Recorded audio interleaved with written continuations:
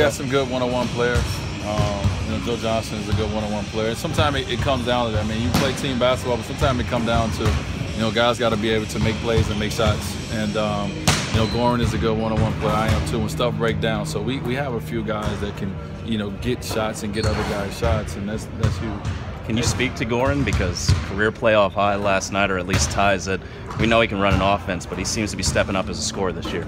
Yeah, I mean, the last two games, I mean, Game Seven in this game, he's really, you know, came uh, with a spark uh, that's been amazing for us. I mean, scoring the basketball at that rate, uh, it's what we need, you know. And obviously, you know, we're not putting pressure on Goran, on anyone on here to say, hey, we need that every night.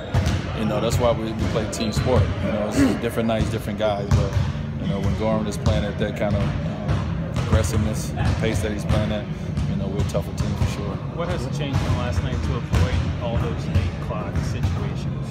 Get in the situation again and just try to get the ball around, man. You know, it's. No, I mean not not the. the I'm talking about like the, the late in the shot clock. You guys. Oh, well, you're gonna get late in the shot clock. I mean, sometimes you can't you can't avoid it. You know, it's, it's gonna happen. Um, you know, and sometimes it's not a bad thing. Sometimes you want to take the clock, you want to take the time down. So you put yourself in late in the shot clock on purpose because you feel you got the guys that's going to make the right play, and you feel you got guys that you can shot makers.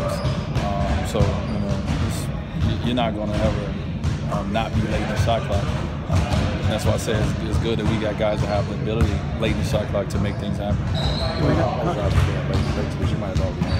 I hope I did, Mike. You did. I think you did. Oh well, let's see what you got. Because I'm passing the buck if I answer.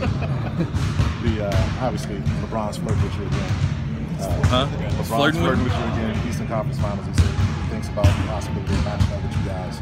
Uh, both you guys being 1-0 right now in your series. It's a lot that can still be played out, but for him to say he's still thinking about the possibility of what that could mean. You talk to me after if we get four wins in the series, then I'll answer that question. So you hadn't been asked yet? I did. I was asked. I was asked in a different way, but I was simple. It was simple. You just asked it a little different. You said he was flirting.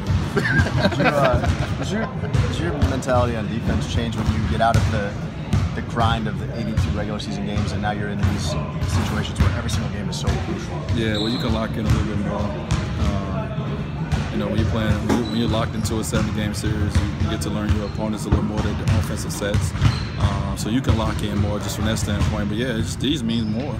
You know, it just means a lot more to you know to every possession. You know, in the playoffs. And obviously, no one plays every possession amazing, but um, way more than the regular season. Um, your focus have to be there. Is it that you don't? Is it that you don't conserve at all once you're in the playoffs?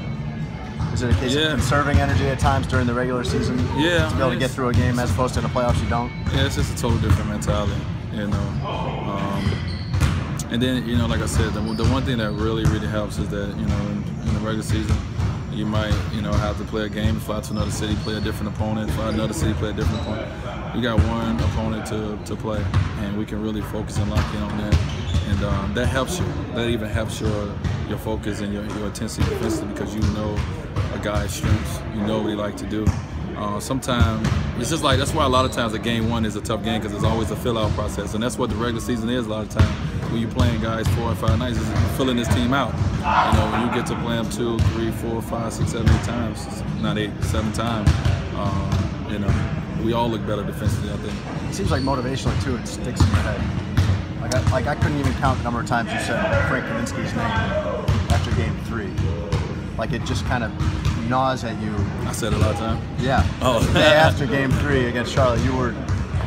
you seemed like you were very eager to get another chance at that. Yeah. Is that is that another factor in a playoff series? Yeah, because I, I me me uh, I take things and I look at you know, uh, Frank Kaminsky first basket I got him going. I was guarding, you know, and um, at that moment I laxed was it fatigue or whether it was whatever it was, I laxed and allowed him to get that. I went for the steal and he got that layup. And all it takes is small things like that to get a guy going. So, you know, uh, he got it going. It was some shots he hit after that that was amazing, but he was on our radar after that. You know, and it's just about, you know, not you know, not saying you don't respect the guy, but you pay a little bit more attention to him when you get the ball.